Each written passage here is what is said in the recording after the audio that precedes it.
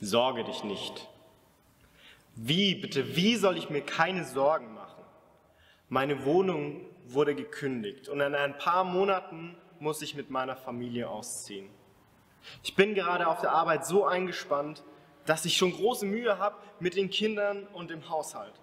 Woher soll ich bitte auch noch die Zeit nehmen, jetzt eine Wohnung zu suchen und zu finden? Sorge dich nicht. Wie, bitte, wie soll ich mir keine Sorgen machen? Ich habe dieses Semester sieben Klausuren und eine davon ist ein Drittversuch. Ach, es wächst mir gerade alles über den Kopf. Am liebsten würde ich mich tagelang einsperren, nichts tun und Netflix gucken. Die meisten haben auch schon einen guten Praktikumsplatz. Ich weiß doch eigentlich, wie entscheidend das ist, gute Beziehungen in die Berufswelt zu haben. Wie soll ich das nur schaffen? Sorge dich nicht. Wie bitte, wie soll ich mir keine Sorgen machen? Ich lebe hier seit zwei Jahren. Ich dachte, das wäre nur eine Zwischenstation. Alles hier ist überfüllt. Wir leben in Zelten, die von Hölzern gehalten werden. Ich war so froh, als ich endlich nach dem dritten Versuch hier ankam. Jetzt bin ich so am Boden zerstört. Ich hatte die Hoffnung auf Grundrechte, auf Gleichberechtigung, darauf meine Meinung sagen zu können. Letzte Woche ist unser Camp abgebrannt. Wir wurden, von der wir wurden auf der Straße von Polizisten mit Tränengas angegriffen. Ich wollte, nur, ich wollte doch nur eine bessere Zukunft für mich und meine Familie. Sorge dich nicht. Wie, bitte, wie soll ich mir keine Sorgen machen? Zehntausende Geflüchtete stecken an den Grenzen von Europa fest oder unwürdigsten Bedingungen. Eine Pandemie hält die Welt fest in ihrem Griff und in Deutschland wird immer mehr über Spaltung, über Gewalt, über Hetze und Hass berichtet. Was besorgt dich? Was besorgt dich persönlich? Was ist deine Sorge? Was sind deine Sorgen? Zur Zeit oder vielleicht auch in näherer Zukunft. Nimm dir einen Augenblick, denk darüber nach, was besorgt dich? Was besorgt dich gerade am meisten?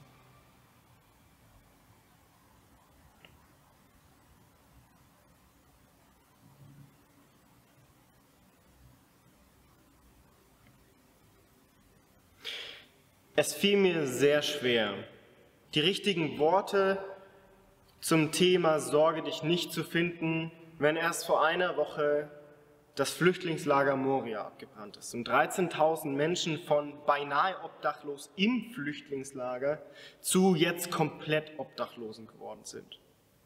Ja, ein Teil wurde zum Glück von Deutschland aufgenommen oder werden noch aufgenommen.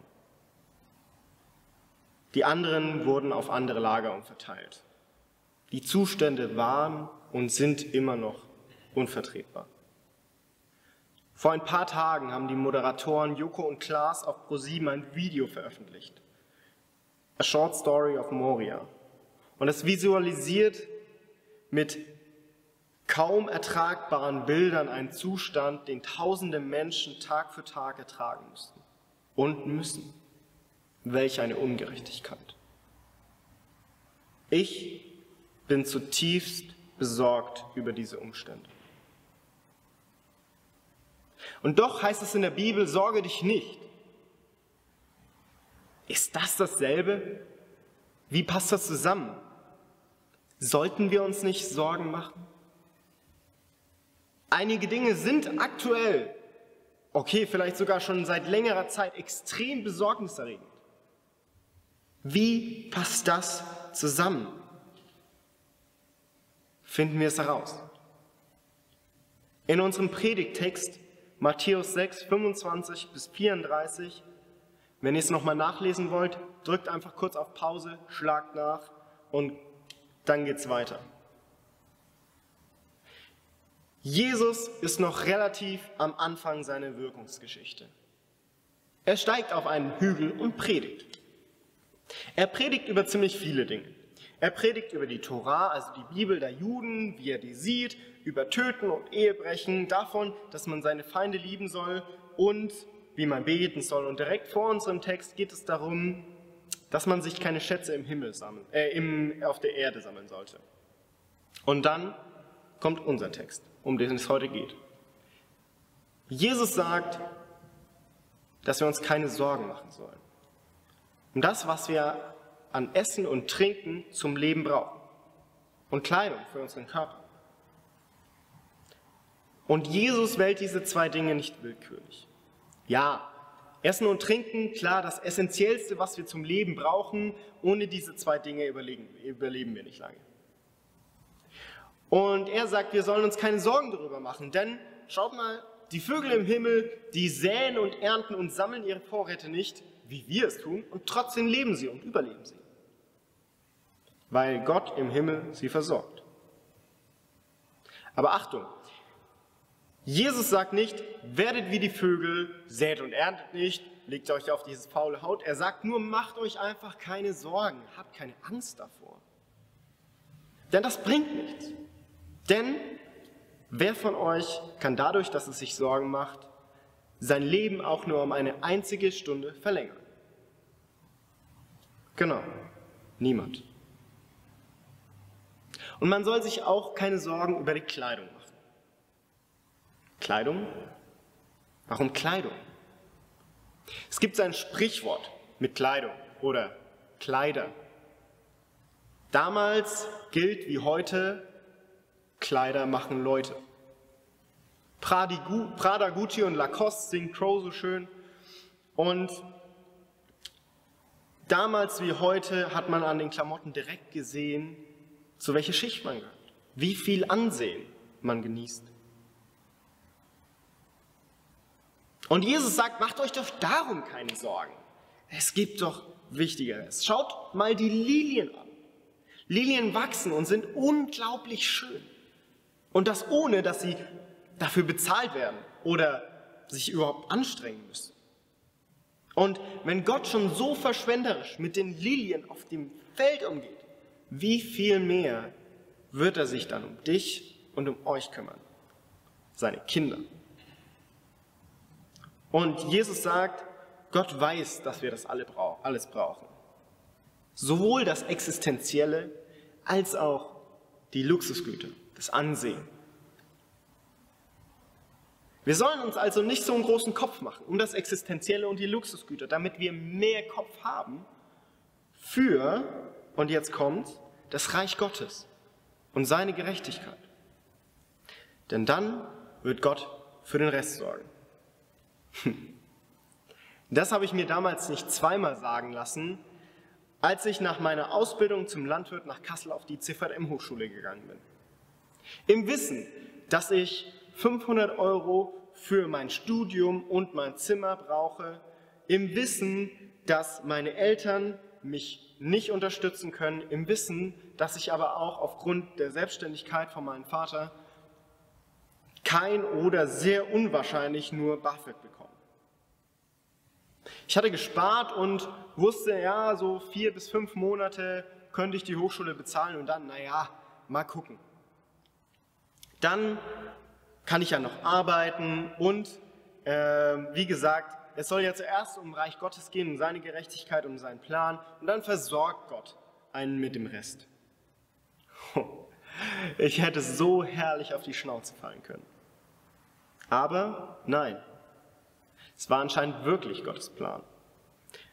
Dass ich in Kassel studieren sollte und durfte und konnte, denn nach ähm, einer ähm, Infoveranstaltung des, unseres Studierenwerks in Kassel in unserer Einführungswoche ähm, habe ich mit dem Typ gequatscht, der den Vortrag gemacht hat und habe ihm so meine Lage geschildert, ja, vorhergehende Ausbildung, Eltern, selbstständig, kein Geld und so. Und er hat gemeint, kommen Sie doch mal in mein Büro. Ich erinnere mich da an einen Sonderfall. Ähm, das recherchiere ich nochmal. Und das, finde ich, war schon Wunder Nummer eins. Ein BAföG-Typ, der daran interessiert ist, dass ich Geld bekomme. Und tatsächlich, es war so, anscheinend sachunabhängige Erstausbildungen, wenn man die abgeschlossen hat, dann kann man eine zweite Ausbildung machen und die Eltern müssen sich nicht verpflichten, das zu finanzieren. Und dann greift der Staat. Und ich habe BAföG bekommen. Höchstsatz. Gott versorgt. Gott versorgt. Und seitdem erfahre ich immer wieder an den verschiedensten Stellen, dass es reicht. Manchmal im Überfluss, manchmal auf den Euro genau. Und jetzt bin ich noch recht jung, werden manche sagen. Ich habe leicht reden. Aber wenn ich mit älteren Christen spreche, dann ist es ganz oft genau das, was sie erzählen. Versorgung. Es hat immer gereicht, meistens mehr, als wir brauchten. Bis hin zu Mutter Teresa. Boah, als ich das gelesen habe, ich dachte, ich sehe nicht richtig. Mutter Teresa hat an ihren Verein geschrieben, ich habe, meine lieben Freunde, da muss ich jetzt aufpassen, meine lieben Freunde, heute bitte ich euch um einen Gefallen. Schickt mir bitte kein Geld mehr bis zu der Zeit, wenn wir das verbraucht haben, was wir haben. Ich werde euch dann wieder bitten. Ich möchte mit euch die Freude fühlen, ganz von der göttlichen Vorsehung abzuhängen. Was? Was für eine Frau. Und was für ein Gottvertrauen. Aber auch hier gibt es ein Sprichwort. Bin ich wohl Mutter Teresa oder was? Ja, offensichtlich nicht. Was, wenn ich nicht das Vertrauen habe? Ich mich nicht überwinden kann. Was, wenn ich Gott vertraut habe und enttäuscht wurde? Gott nicht versorgt hat. Was, wenn ich in einer tiefen Krise stecke und Gott nicht handelt? Muss ich jetzt meine Sorge unterdrücken und tun so, so tun, als wäre nichts, nur um Gottes Idealen zu entsprechen? Muss ich einfach mehr hoffen und beten, dann löst sich alles in Wohlgefallen auf? Ich möchte dir eine weitere Geschichte erzählen. Matthäus betont in seinem Evangelium immer wieder, dass Jesus die Geschichte vom Volk Gottes, also Israel, den Juden, weiterspinnt. Und oft zeigt er genau die Parallelen auch zwischen Jesus und Mose auf. Zwangsläufig bin ich dann auf den Auszug der Ägypter aus Israel, nee, der Israeliten aus Ägypten gestoßen. Da zieht ein Volk, ein ganzes Volk um. 40 Jahre lang.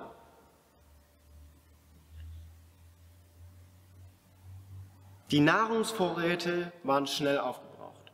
Die Wasservorräte in der Wüste noch schneller. Aber trotzdem, es war Gottes Weg für sein Volk und er hat sich zu ihnen gestellt. Als sie kein Wasser mehr hatten, hat er eine, eine Quelle aus dem Fels sprießen lassen. Als die Nahrung zu Ende war, hat er jeden Morgen Brötchen vom Himmel fallen lassen. Das ist Versorgung pur. Haben sich die Israeliten trotzdem Sorgen gemacht? Ja und ob. Sie sind sogar so weit gegangen, dass sie gesagt haben, ja, lass mal, lass mal heute nicht so viel essen und was für morgen aufheben. Dann, also wir wissen ja nicht, kommt es jeden Tag, könnten fast Schwaben sein. Was ist passiert? Was ist passiert mit dem Brot? Vielleicht wissen es einige. Es ist verschimmelt über Nacht. Aber es ist kein Problem. Am nächsten Tag war wieder Brot da.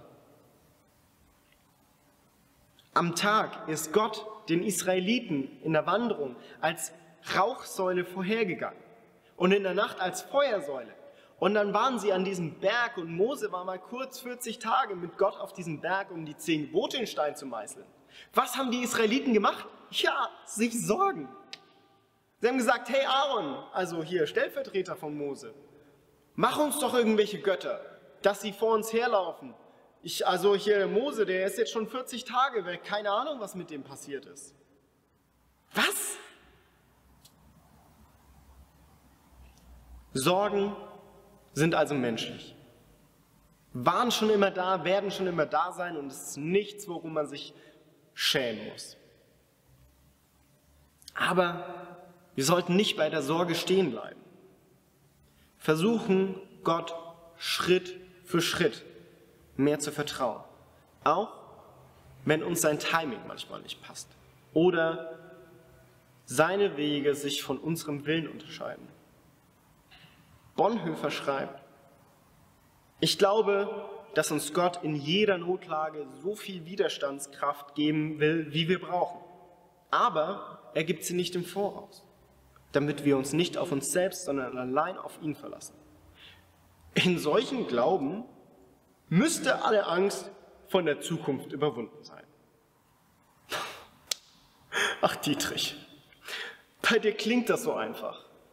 Und dabei war es keins des Falls, keins des Weges einfach. Aber was ist nun mit den Sorgen?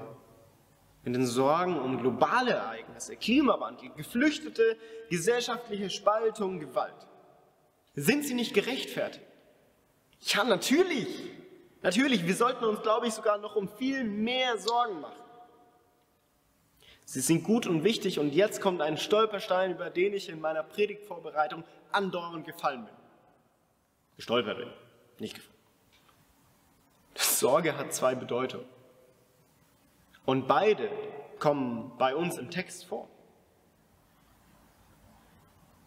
Die erste, und ich zitiere den Duden, die durch eine unangenehme, schwierige, gefahrvolle Situation hervorgerufene Sorge oder auch quälende Gedanken, bedrückendes Gefühl der Unruhe und Angst.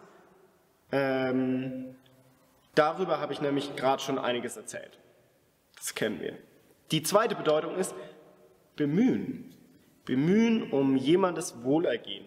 Bemühen um etwas. Fürsorge. Und ist es nicht genau das, was Jesus meint, wenn er sagt, es soll erst zu, es soll zuerst um, Reich, um Gottes Reich gehen, um Gottes Gerechtigkeit? Ist es nicht das? Sorge als Motivator für Gottes Gerechtigkeit einzustehen. Also ja, wir sollten uns um Dinge sorgen, vor allem wenn Menschen ungerecht behandelt wurden und werden. Nur sollte es wie bei der ängstlichen Sorge nicht bei der Sorge stehen bleiben. Aus dieser Sorge muss eine Art von Handeln resultieren, sonst ist die Sorge umsonst. Erinnert ihr euch an die Sorge, an die ihr am Anfang gedacht habt? Was war sie? War sie die ängstliche Sorge? War sie die Sorge um etwas? Um was sorgt ihr euch? Lasst es nicht bei der Sorge bleiben. Jeder, der ein Smartphone gerade bei sich hat, möge es nun zücken oder ein Stift und ein Zettel und ich möchte, dass ihr Folgendes aufschreibt. Wenn ihr eine ängstliche Sorge habt, in welchem Bereich möchte ich ja, Schritt für Schritt mehr Gott vertrauen, auf seine Fürsorge und sein Versorgen?